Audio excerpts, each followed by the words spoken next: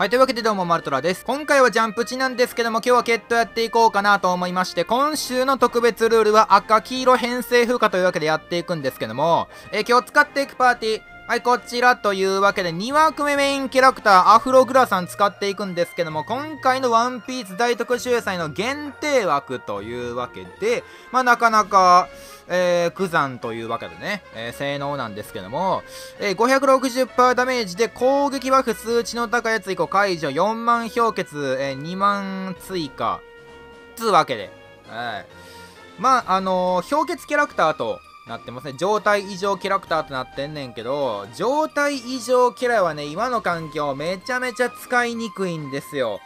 まあ一応ダメ源5万持ってる、これ非ダメ源なんで、まああれなんですけども、うーん、まあ賞味、うーん、ちょっと微妙な性能はしてるんじゃないかなと思いますね。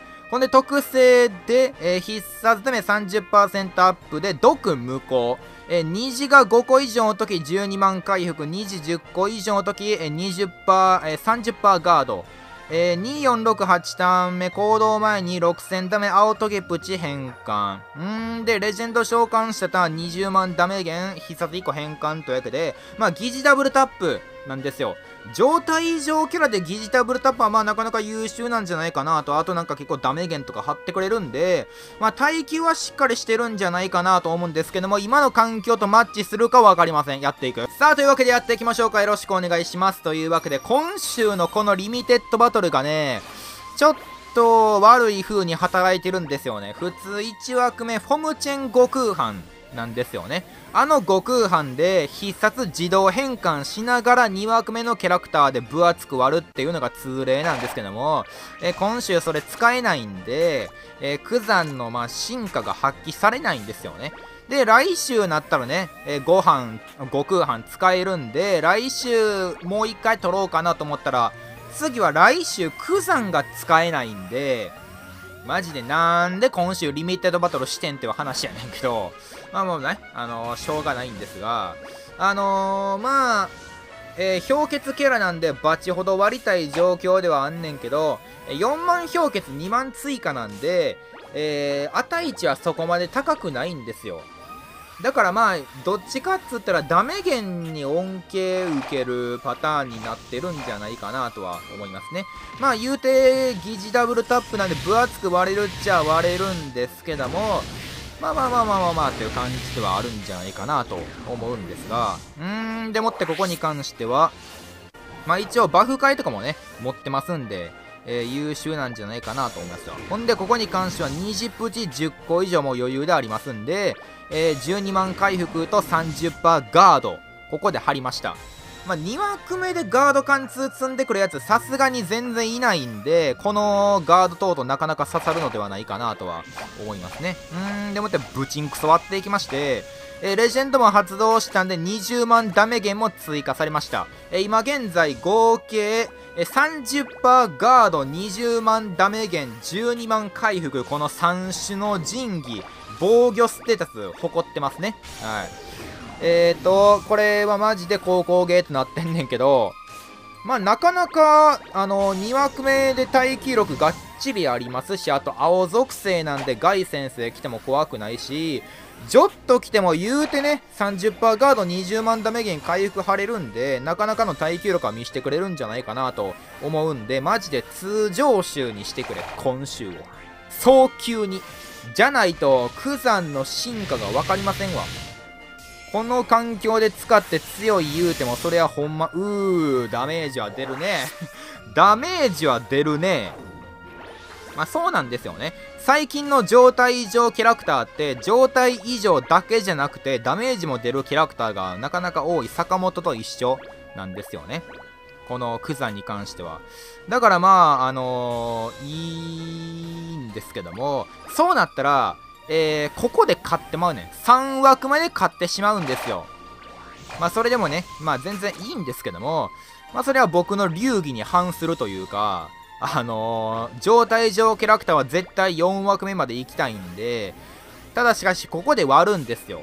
これなんでかっていうと、あのー、クザンが回復持ってないんで、必殺で。だからもし2枠目で火力が来た場合、バカほどダメージ入って、3枠目で負けてしまうんですよ。火力負けして。そこがちょっとダメなんで、2枠目何がし回復キャラクター置いて回復積まへんかったら絶対ダメなんでサイカル積んでんねんけど、まあ今回2つ割りしました。相手のこの友情技やったら別に全割りしてもよかったな。じゃあ相手の友情技見た方が良かったっていうのは後の祭りなんですけども、まあダメージいかほどというわけで、はい、ガッチリ持っていきまして、ほんでもってここ、どんながいるあ、全然2個割りでよかったという。ほんでもって、氷結、37万8000。言うて氷結の値値はまあまあ出るんですよ。37万8000。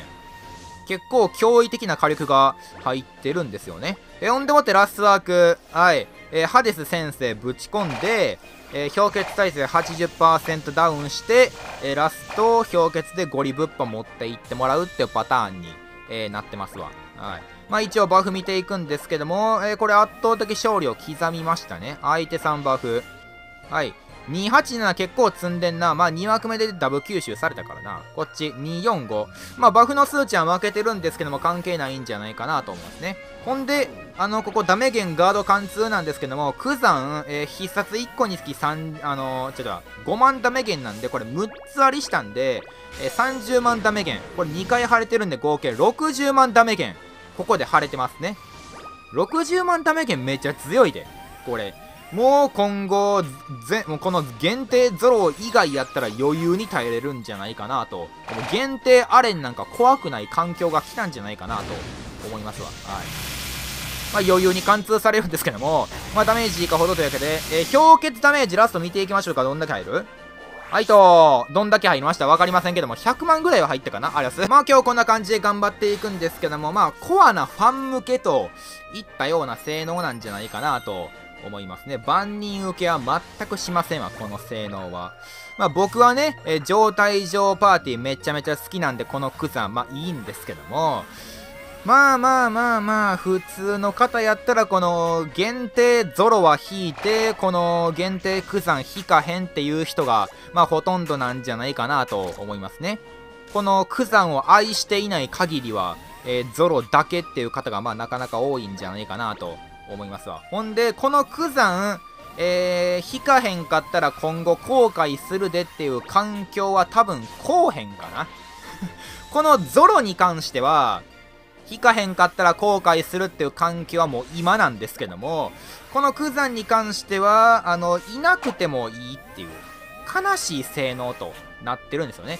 どうせそのうち氷結の上位互換また登場すると思うんで、だからまあ別に、あの、別にっていうパターンにはなってるんですけども、はい。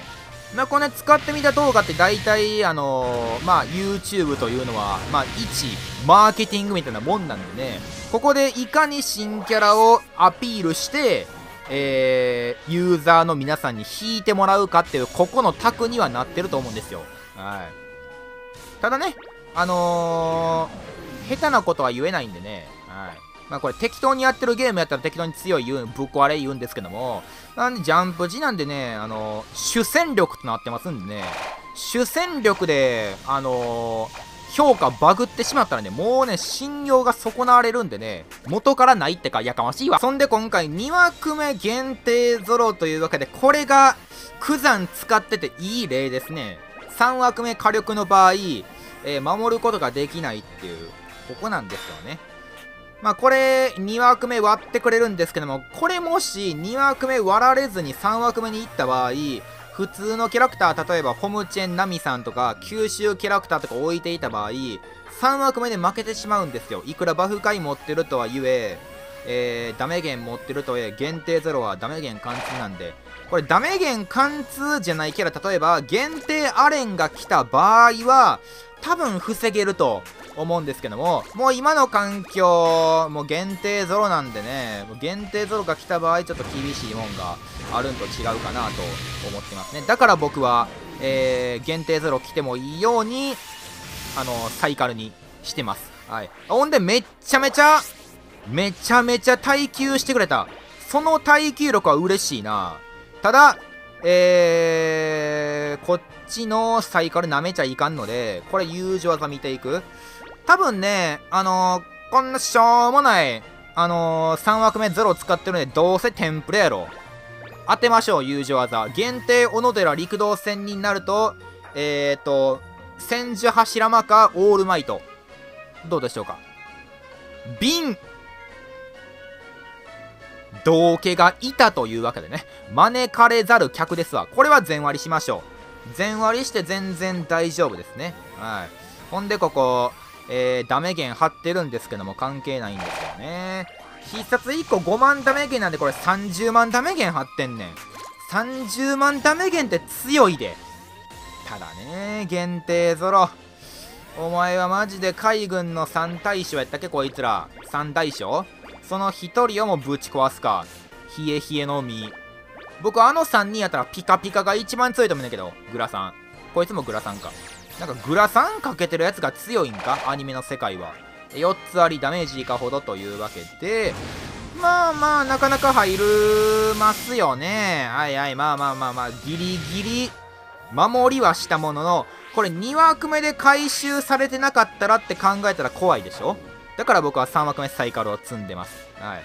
ほんでもってラストワーク、やっていくんですけども、えー、ここでハデス先生来ましたわ。はい、なかなかいいダメージまた入るんじゃないかなと思うんですが、えそうですね、今回は、えうまいこと盤面等々決まっていったんで、え全力を出せたんじゃないかなと思うんですけども、まあね、最近ね、あのー、解除が結婚で陸道戦になると、あのー、ゲームブレイン落ち着けいう話で。あの前回のね、情報修正からいくら357いくら解除が強くなったといえど、まさすがにね、2枠目ぶち割りは、そうそう耐久できるもんじゃありませんのでね、復帰2枚、友情ダブコピでようやく耐えれるぐらいなんで、だからまあ、今の環境ではクザンというか今後クザンが輝く環境は来ないんじゃないかなとは思いますね。はい。まあダメージ以下ほどというわけで、えー、氷結ダメージ今一度見ていこうかなと思うんですけどもあ5里ほど入っていきましてほんでもってダメージ。氷結でまくっていくパターンなんで90万か、氷結90万、なるほどっていう感じやな。今後可能性があるとするならば、えー、限定検診が情報修正来た時ですね。限定検診の友情技が氷結耐性ダウン。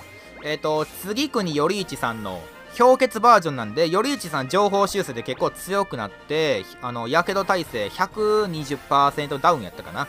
なんで、だから今のハデス先生の40%高いんですよ。で、あの、ハデス先生は今の環境では使えないんですよね。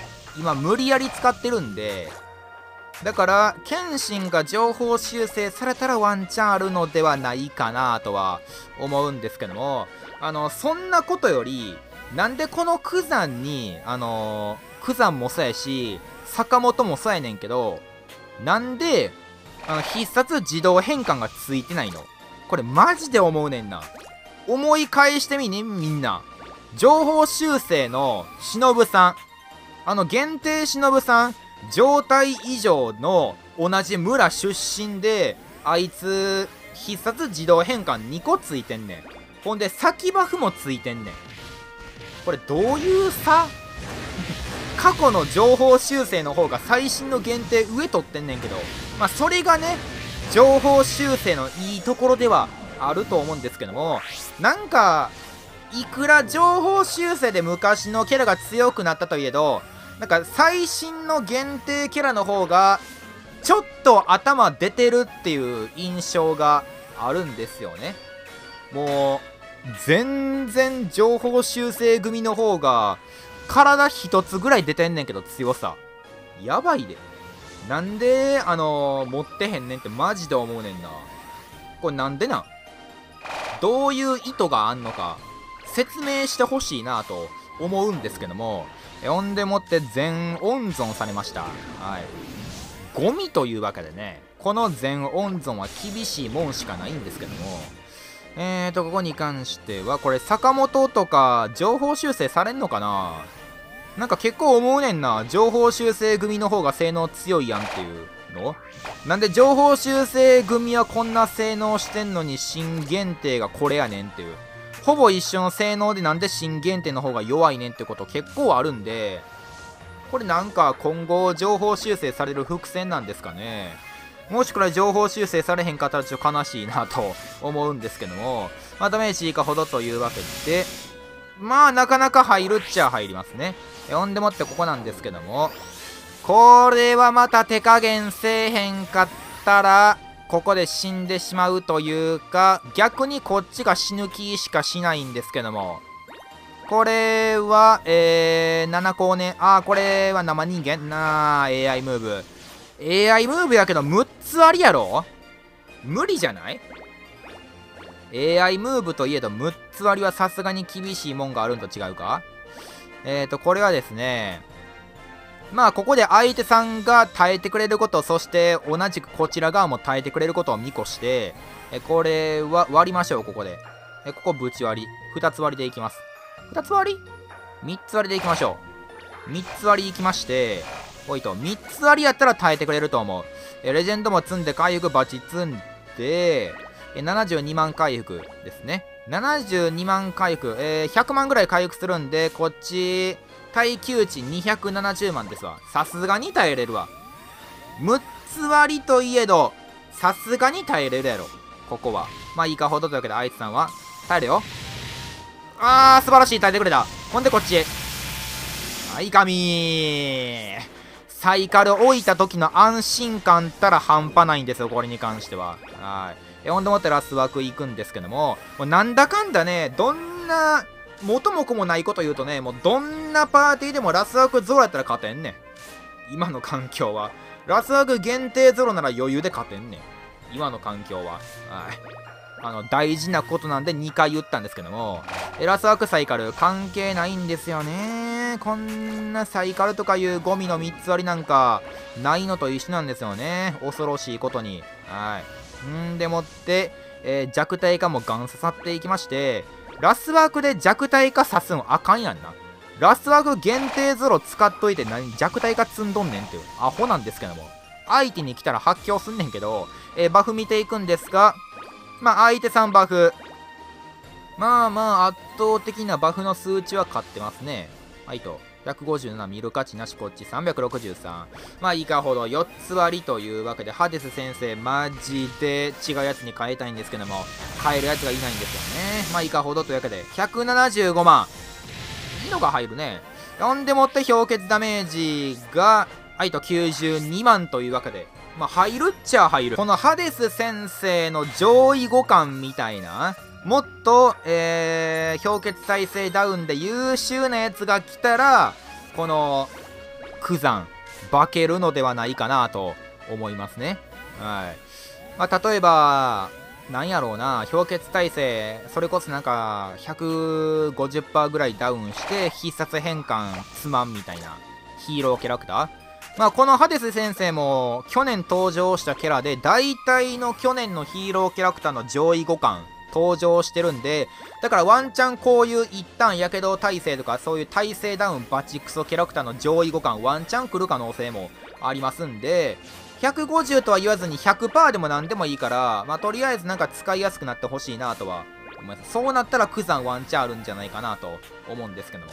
まあその頃になってたら、多分、まあ、あのー、氷結の上位互換、それこそ、理屈らが上限解放されて、最強の氷結キャラクターになってるみたいな未来も全然見えんねんけど、九山に未来はあるのかという、そこなんですよね。はい。ないに1票なんですけども、えほんでもってここに関しては、これマジでゴミ先行やんけ、お前。これで勝ってもお前ドヤ顔すんなよ。お前、うんガチやからな、それに関しては。実力ではないというのを先に言っておきまして。んでもってここに関しては、まあ、ぶち込んでいきながらの、これレジェンド2回発動していきましょうかね、普通に。えー、2枠目、2枠目綱手とかいうゴミやないか。これマジで高校芸やんけ。どないしてくれんのおまさん。なあ。今の気持ちをね、非常に述べてほしいなと思うんですけども、バフなしなんですけども、ちょっと、バフ解体面負けてんな、これ。ほんま、ゴミほどやんけ。ゴミほど高校芸やんけ、今の環境って。この動画も撮らなあかんな。ゴミほど高校芸っていう動画近日公開しますわ。はい。公開しないといけないという使命に駆られました。うん。これ全員の共通認識ちゃう？なあ。もう、ジャンプ値ユーザー全員の共通やと思うんだけど、1たす1は2ぐらいの当たり前のことなんですけども、高校ゲーっていう。今の環境圧倒的に高校が強いですよね。どうにかなってほしいんですけども、ほんでもってここに関しては、えー、っと、はい、まあ、こうなったら氷結が結構生きるんじゃないかな。この高校対面に負けていったっていう今の、えー、まあ、逆境、これ逆手に取っていけたらいいんじゃないかなと思うんですけども、まあ、ここも全割りしましょうかね。うまいこと、えー、ペイントプチ君がクッションとなってくれているんで、これ右着地でよろしいかなと思うんですが、これダブルタップ発動されんな。厄介やな。まあ、しゃあないっちゃしゃあないんですよ、友情。ダブコピやんな。これマジで高校芸やわ。マジで高校芸。ほんまに高校芸ですね。今の環境って。ゴミすぎるんですけども。これ高校やって、あの、先、高校やったら買ってたやんっていうパターンになる気しかしないですね。これは。圧倒的高校芸のパターンあ、これまさかの4つ温存か？こいつ。よかったまあ、全割なんですけども、攻撃必殺150アップか。ちょっと厳しそうかな。これは。若干。回復等々がどれだけっていうパターンですね。あと、氷結がどれだけっていうパターンですね。これに関しては。厳しいんですけども。えーと、そうですね。必殺の火力は圧倒的に負けてます。はい。これ勝てるか？負ける可能性しかないんですけども。なあ。未来が約束されてんねんけど、この負け。どうでしょうか？え、ぶち割っていきまして、え、状態以上で100万削るんで、相手の HP が回復等と合わせて、まあ、100万ですね。アドバンテージ70万ぐらいなんですけども、これ無理じゃないのか？さすがに。アイスさんバフ。いかほど。うん。350、えー、必殺ダメージもゴミですわ。これ絶対負けた。あー、負けた。100%負けました。高校芸やんけ。なあ。これほんま、これほんま高校芸やで。ほんま2枠目のバフ会が刺さってれば、こっちが勝ってたで。2枠目の友情ダブル九州僕空打ちしたもん2枚とも。これ九山のせいではありませんわ。はい。あのじゃんけんゲー？うんあのー50%の確率で今のペットの環境？え？え？えお前高校を取って負けんの？お前あああそれは恥ずかしいさあというわけでラスト1回やっていくんですけどもまあそうですね僕は好きですわはいあの敵を敵ちゃうわあの相手さんを気遣った時に出る言葉ね僕は好きうん僕は好きです。クザ。うん。人がどう思うと、僕は好きですね。うん。僕は全然いいんじゃないかなとは思うんですけども。まあ人それぞれなんじゃないかなとは思うんですが、このクザンをゴミカスに言ったこの動画のなんか半年後ぐらいに、それこそなんか年越しぐらいにまた情報修正来て、なんかクザンがサプライズ情報修正されて、バカクソ強なって、この僕のゴミかすにいったこの動画が批判されるっていう未来がこれ、あったら嬉しいですね。はい。この動画で言っていたことを全て覆してほしいわ。バネとして。お前何過去に俺のこと散々言ってくれたなってこのクザに怒られたいですね。はい。これは戦友としての意味でね。うん。これは未来。ものすごい楽しみにしてますわ、僕は。はい、まあねあの無双のねキャラクターが情報修正上限解放された後でも、えー、されるっていう流れは来てんねんけど普通の記念キャラクターがどうかわかんないんですよ無双キャラクターはねもうすぐ一周するんですが普通の限定もね情報修正されてほしいんですよね。まだ1人も情報修正上限解放されてから情報修正された普通の記念キャラクターはいないんであのー、何がしねここらでなってくれたら嬉しいんですけども、なんか5.5周年やから、情報修正もバーンって開けるもんがありませんかね。あったら嬉しいんですけども。ほんで、友情ダブコピやろ、どうせ。友情ダブコピ限定忍さんやろ。分かってんねん、もう、お前のやることは。分かってんねん、お前のやることは。この辺のランク帯のやつマジでしょうもないからな。あのもう3枠目限定ゾロ使っといたらええねんっていうね、納金ばっかしかおらんねん。クザンとか使わんの？君ら。そんな凝り固まった考えで楽しいんか、決闘。楽しくないやろうな。多分この辺のランク帯のやつ、この辺のランク帯のやつが多分一番決闘もなくない？もうパーティー一緒で。ただただ勝つためだけの作業芸やからな。楽しもうぜ。僕が羨ましいやろ。な。僕の普段の動画見てくれよ。な。初期キャラとか使ってんで。こんな決闘をね、この辺のやつらは長らく味わってないやろ。